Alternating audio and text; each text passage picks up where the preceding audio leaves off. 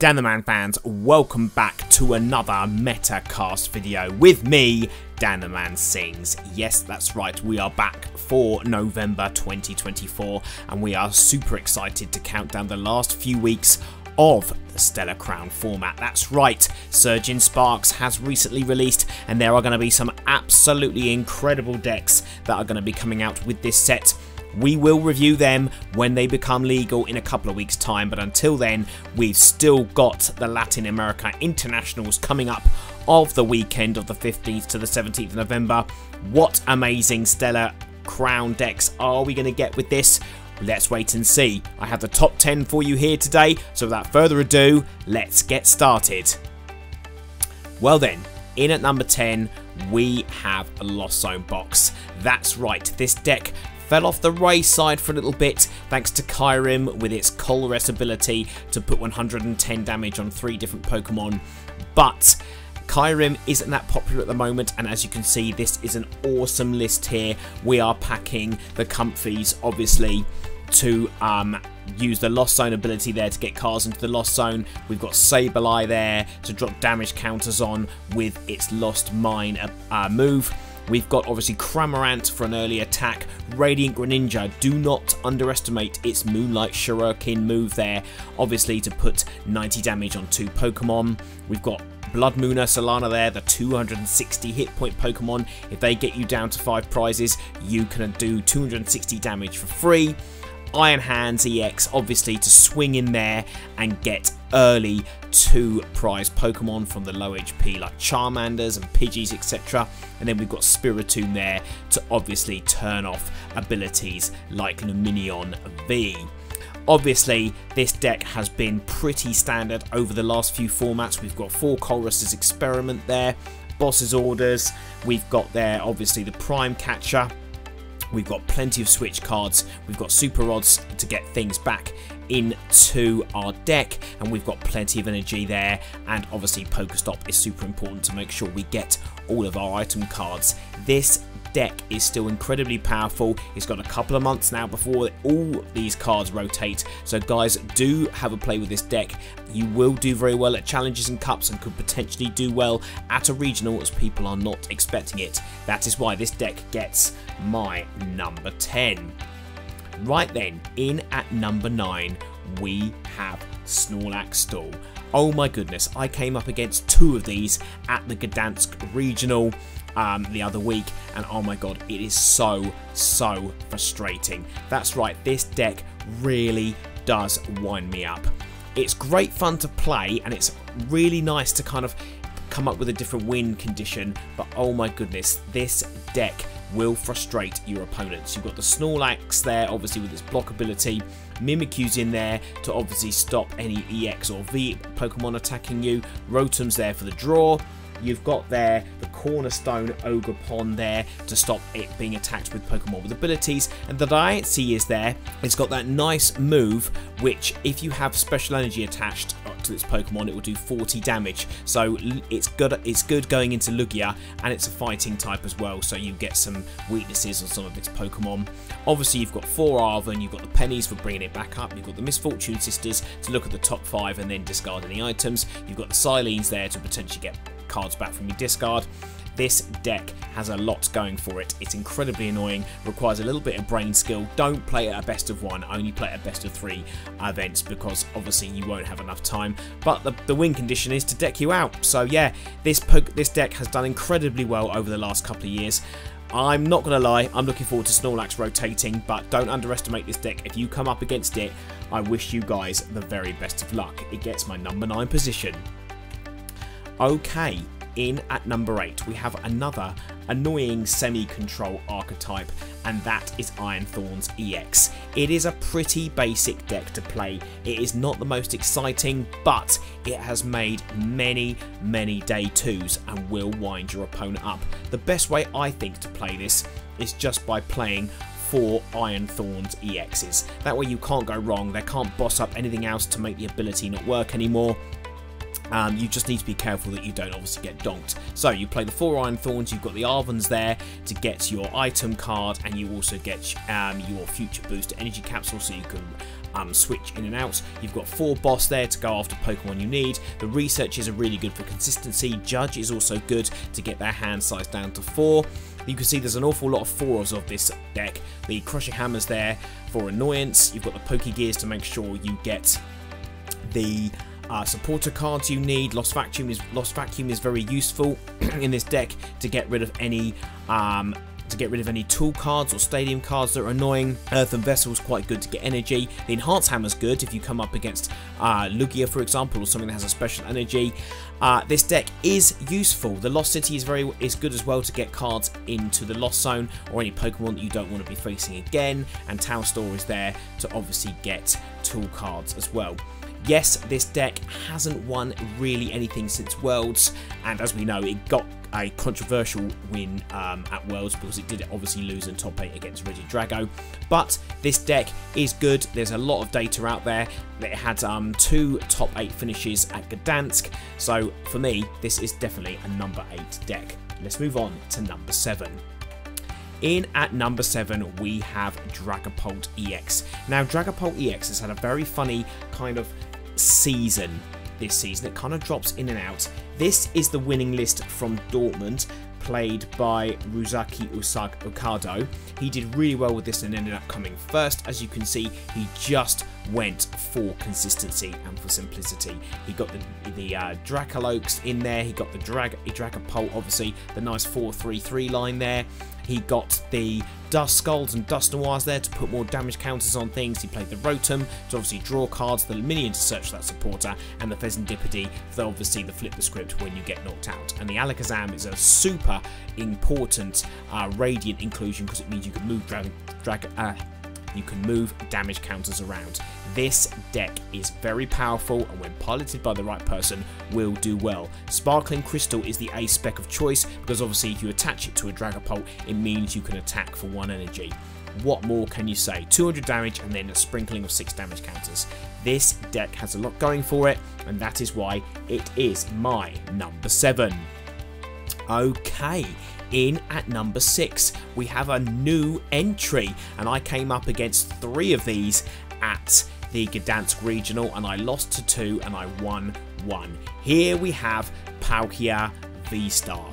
Now, believe it or not, all of these cards were legal at Worlds, but no one really thought about playing it. I think it got a top 9 placement at Baltimore, and Stefan Ivanov got this to a top 4 finish at Dortmund. It's really simple you get your Duskulls set up. You try and get two set up by turn two, you explode them and try and take down a two prize Pokemon.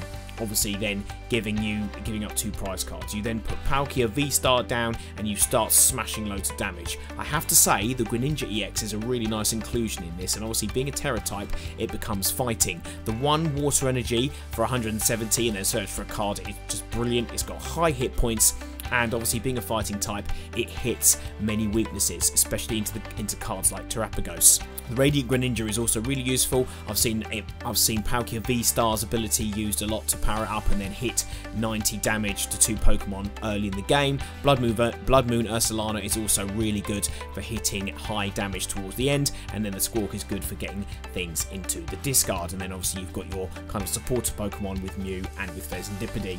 Obviously, the uh, the trainer lineup is pretty standard. The Night Stretcher is really good for getting a Pokemon or getting an energy back from the discard. Trekking Shoes is there for consistency, and you're playing a nice 7 water energy count there. This deck is pretty powerful, and when piloted by the right person, can really sweep the field. I've seen a few day twos with this. Um, it can brick the one the one game I did play against this and beat the poor girl I was playing bricked so heavily with this. So you've got to be, make sure you're consistent, but otherwise it's a great deck. And I can definitely see it doing well before it rotates early next year. Right, let's see what's number five. Okay, in at number five, we have got Terapagos. Now, this is the one that was piloted by Tord Reklev at the Gdansk Heat Regionals last weekend. He came second with this deck. it is incredibly powerful. If you get the fan Rotom out and use its fan call ability on turn 1 to get 3 colourless Pokemon out, you are cooking. The Pidgey and the Pidgeot are brilliant for consistency. Blood Moon and Ursaluna is back again in there. Fezandipiti for draw. Um, the only reason Terapagos doesn't score high is because of its limited damage output. Unfortunately, you really need the Area Zero Underdepths out all the time for it to be hitting those magic numbers because it only does 30 damage times the number of bench Pokemon. Obviously, the Hoothoot and the Noctowl are brilliant for searching cards up that you need, but obviously once you've used them, that's it. There's no real way of being able to use them again. Uh, Briar is very powerful. If you get your opponent down to two prize cards and can knock out something with a Terapagos, you can take an extra prize. You could potentially take three prizes. You can control the prize race as well with the Duskull and Dusknoir. This deck has a lot going for it. I think with the next set coming out, it receives a couple of other cards that will be very useful for it. But at the moment, it just doesn't hit hard enough. So that is why it is number five on my list. Okay, guys, let's see what's in the top four.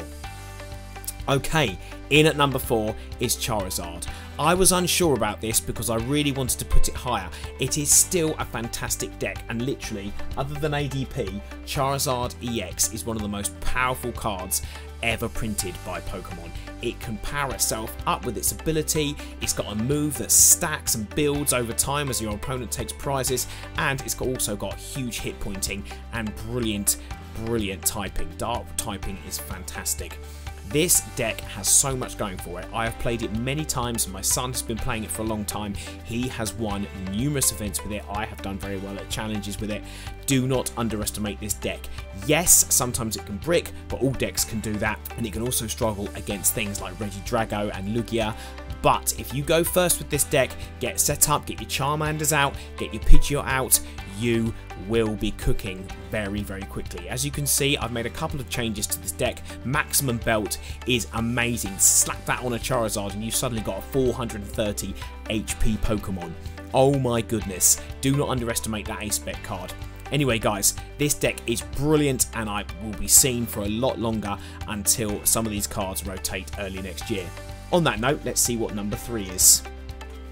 Oh yes, here we go. Number three, Lugia. Now this is Josh Joshua's Zapdos TCG's um, list that he's been playing since Worlds. It doesn't include any Stellar Crown Pokemon. He got to 8th place or top 8 in Lille, I believe. However, he didn't do very well at Gdansk. I think he only got top 128 or 256 at Gdansk. That's the thing with Lugia it can either absolutely smash it, as soon as you get those Archeops out, you are going, but it can brick really hard. If you don't get those Archeops out or only get one out, your whole engine is busted. But you can see from this version we've got the three Minccino Cinccino line, so you're using a single prize attacker to take down things like Charizard with 330 HP. The Iron Hands is brilliant for taking extra prizes from little single prize Pokemon early on in the game. Uh, as long as that legacy energy isn't prized, I've played this deck many times and that's been prized. But you can see there, it's got a nice mix of different energy types. You've got the supporters there to really help you. The Carmine's great on turn one. I'm looking forward to seeing that new card when um, Surging Sparks come out that lets you discard five cards. That will make this this this uh, this one very useful. But until then, Lugia definitely comes in at number three. It's had some great top eight finishes. It won in Joinville, however, it just lacks consistency sometimes, and that is why it is my number three. Let's see what number two is. Okay, in at number two, we've got the consistent, the easy and nice deck to play Raging Bolt EX with Ogerpon. Yes, that's right, this deck can smash some serious damage. If you are able to get Professor Sada's Vitality out on turn 1 going second, you can knock out a two prize Pokemon really quickly in the active. You've got your energy there to set up, you can get the energy in the discard, you can power up and you can get 210 to 280 damage going really quickly on turn 1. You're playing some nice basic Pokemon there. You've got consistency. The Prime Catcher is your ace spec of inclusion. You've got some switch carts there to hit, do a little bit of healing. You've got Radiant Greninja to get uh, energy in the discard. Fezandipiti is obviously there for flip the script.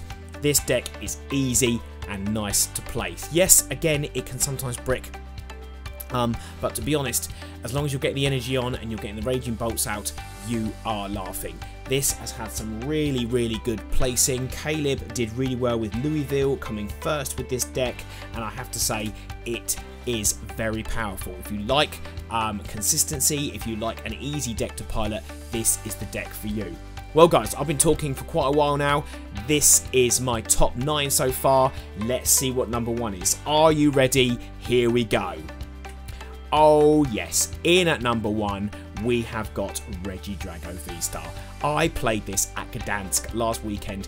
No, sadly, I didn't do that well with it, but maybe that's because I was tired or whatever. But this deck has won two regionals recently. It won in Europe, it won Gdansk last weekend where it beat Tord Reklev, and then it also won in Lille.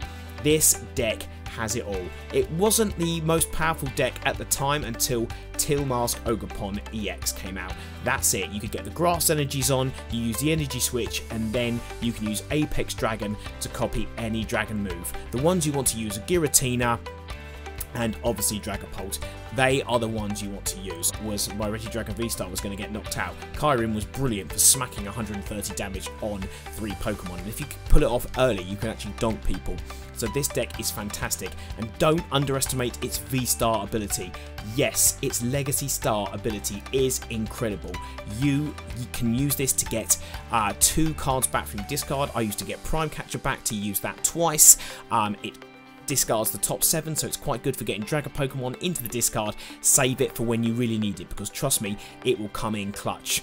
This deck is brilliant, it's got all the cards it needs. Currently, I personally think it's the best deck in format. It's going to go on. You wait, this deck is potentially going to win the Latin America International next weekend. It is phenomenal. Guys, what can I say? This deck has it all, and this rounds off my top 10 for the current Stellar Crown uh, format of November 2024. Well guys, I hope you enjoyed this. There are some fantastic decks in the format at the moment. It really is diverse. Any one of these, any one of the top five decks could have been number one. It's going to be really interesting to see what uh, the Latin America International bring because this is going to be the last um, main tournament with this current format. Surging Sparks has just released. That's got some incredible cards in it. Just you wait, I'll do a deck review, a meta review for that when it comes out in a couple of weeks' time. But until then, guys, I hope you enjoy my new content. Um, Stellar Crown is a brilliant format and I'm going to be very sad to see it gone soon enough. But until then, enjoy the decks, enjoy your time playing the Pokemon TCG, and I'll see you in my next Metacast video. All the best and take care.